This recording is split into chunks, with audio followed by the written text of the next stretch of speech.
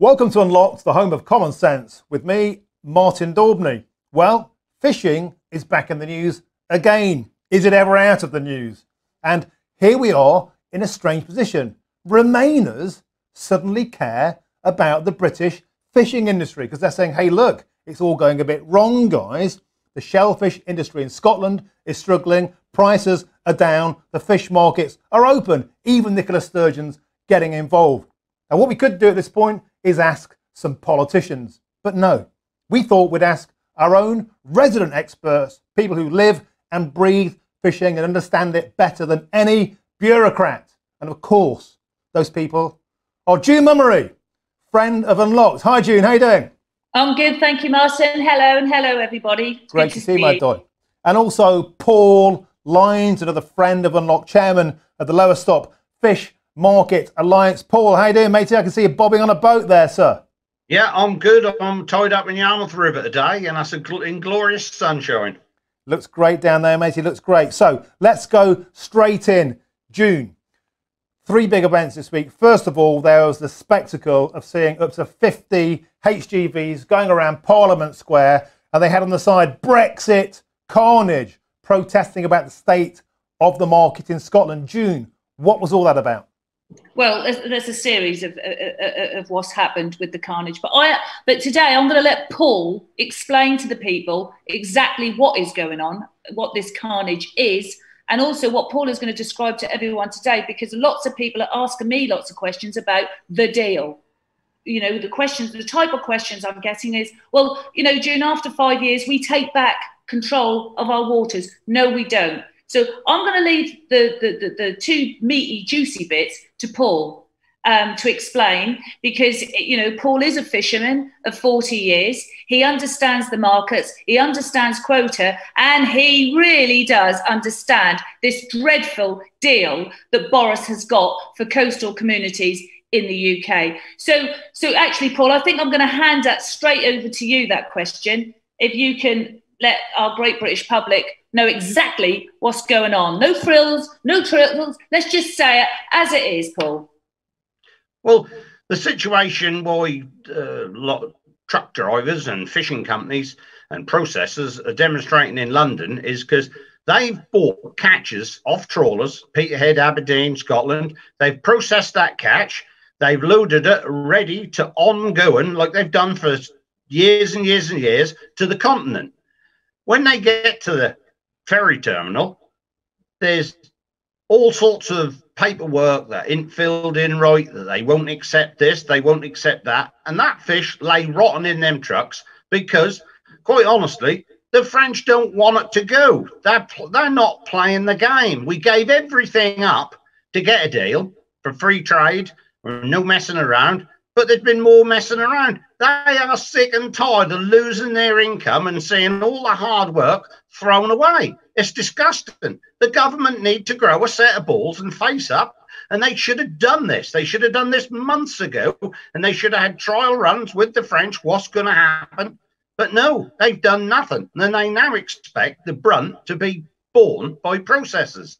But that put aside, most people won't understand what that deal is. Well, the actual deal, in essence, is the fact that they've assessed that Europe catches 146 million pounds worth of fish in our waters, which represent 60% of their landings.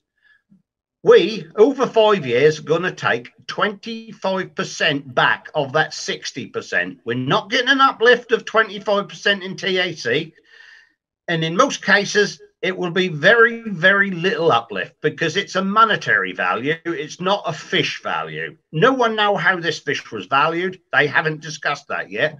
But after five years, we have the right to tell them to leave our waters. But if we do so, we will have to pay tariffs and we will have to compensate the foreign fishing fleet. No government in the world has got to do that. It's an absolutely disaster for Great Britain's fishing industry because what's happened is the French, the Dutch, the Belgians, the Danes, they all come catch enough fish for their domestic market in our waters. They don't want our fish. Why would they want our fish depressing prices on their market? Mm. We're not a member of Europe now. They don't have to have it. And they're not going to. COVID has closed restaurants, it's closed every outlet for fresh fish down. They are catching and supplying enough for what they need on the continent. They don't want okay. ours. They don't Paul. need so, it. So, so, so, Paul, hang on. So, if our government had a backbone and had, on January the 1st, taken back full control of our waters and the resource, they would be starved of fish now, wouldn't they? Well, they, they would. would. We were led the same old rhetoric from Gove and Boris Johnson and the likes that we were going to take back control and we were going to take and rule our waters. That would have worked because we'd have created the hunger in their markets for our fish. But no, we didn't. We just gave it all term. We changed nothing. And I, I put this deal akin to if I was selling a car and the person buying that car started kicking the tires and they think, oh, I ain't got to sell this, I'd say to him, I'll throw the lawnmower in. Well, the fishing industry was the lawnmower on that deal because mm. that's absolutely disgusting that one sector, who were the poster boys of the Brexit campaign, they were the poster boys of the Conservatives' re election. And when it actually come to it, kick him in the teeth. Look at that, Mr. Gove. He, he, he made a huge point in telling everyone how he was so sorry his father's business failed and he was taken from a children's home and he was adopted and he looked up to the fishing industry. Well, all he ever did was got in power, got there and poked every fisherman right, in the Paul. eye with a stick. Paul, let, let, let, let, me, Paul, let, let me interject. There's somebody else who's waded in and got involved. Of course, it's Nicola Sturgeon. Nicola Sturgeon this week tweeted a picture of an empty fish market in Peterhead. I think we can see that image on the screen now. And she said in a tweet, the reality of Tory Brexit and this for the industry they claimed to see would see such big benefits utterly shameful. And she's saying a sad sight. Europe's biggest fish market is like a ghost town. Can you explain to us why we are seeing markets so quiet like this. Is it Brexit or is it something else? COVID.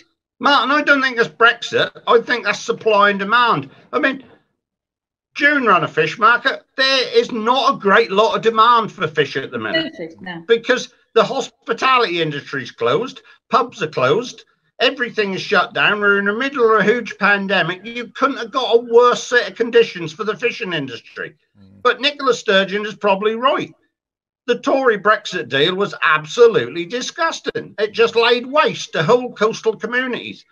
We, we were working hard, and I've been working very hard with my son, and I know other people who were told to invest, get boats ready. We need to catch this fish. There is no more fish. You know, there is no golden opportunity. They gave it away as a deal sweetener. Mm. And all they're doing now is they're throwing a stick and plaster out to the mm. processing industry to try and heal it. But then you'll never heal that rift there. You've got well, to have some major. Paul, Paul, I think it's a key point to make here. It's a key, key point. These problems aren't because of Brexit. It's because we didn't get the correct kind of Brexit for the fishing no. industry. We were no. promised a clean break. We were promised to take back control of our waters. What's happened is a kind of neither here nor there Brexit, where the French can still come and plunder our waters, and hey presto, they don't want to buy English, British fish because they can just take what they need themselves. Is that right? Well, they're getting all they ever need to supply their domestic market with their own vessels. Mm. Well, why would they want our fish on their market as well, depressing them prices? Mm. I mean, they wouldn't. I mean, that's common business sense, isn't it? If you if you supply what the market needs, you maintain the price. Mm. But I mean, our fish ploughing into their market will just depress their price. Well, they're fishermen; they aren't stupid. And also in France, they operate a minimum withdrawal price. Mm. So fishermen know what they've got to catch as a minimum. We don't do that here. Yeah. I mean, the, the, the whole thing was poorly thought out. That weren't mm. thought through. You have to create a marketplace and create the need for product, but you can't then give it to the enemy. And we mm. see the continent as the enemy now because this is a battle. This this is not going to stop. No. I mean, that's not only a battle against the EU, that's now a battle to make our government see sense. They've handled this appalling. You know what Good. I mean? Now, now Paul, I, I, want to I want to interject again there, Paul, because I want to keep this short and tight. June, we're all about solutions on Unlocked, and I know you've got a plan out of this, haven't you? June, how can we sort this mess out? Now, something, yeah, this has all happened. It's a disaster. They've made huge mistakes. Nobody, I think, in government has read that deal. We, we know Victoria Prentice didn't read that because she was busy at an activity play. So that's happened. This has happened. There's good parts. We have left the EU, and I am so happy about the, the gains we've had. Look at the vaccine, etc., etc. But as fishing goes, and if we if we want to hang on to the industry we have, because five years is a long time when you have nothing. We're on our knees. We've waited 40 years.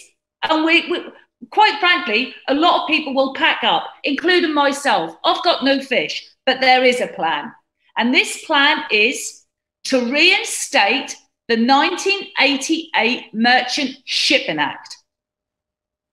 If we reinstate that, 54% of UK quota, which may I add is a public asset, so it belongs to you, Paul, myself, and the rest of our country.